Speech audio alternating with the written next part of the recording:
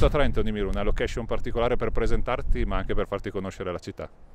Grazie mille, sì, è un, un bel posto, eh, così è una... vedo la città e secondo me è una bella città. Con che ambizioni, con che prospettive arrivi in questa gloriosa società? Eh, arrivo, arrivo, molto carico, soprattutto perché adesso abbiamo avuto un, un stop molto, molto lunga che non siamo abituati.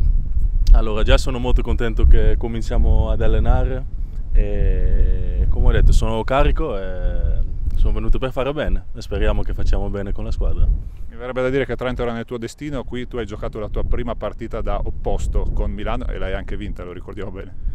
Sì, mi ricordo molto bene la partita perché ovviamente era per me una partita importante dove ero un po', un po teso ovviamente, il ritorno in Italia in un altro ruolo e ovviamente c'è l'occhio puntato addosso no? per vedere questo era un palleggiatore qui e, e quella partita è andata molto bene e da lì sono partito nel mio nuovo ruolo in Italia. Allora sì, è molto, un bel ricordo e sono contento di giocare adesso per la squadra di Trento. Il tuo biglietto da visita è ottimo, negli ultimi anni sei sempre stato il miglior marcatore della Superlega e i tifosi inevitabilmente ti chiedono di mettere a terra tanti palloni anche qui.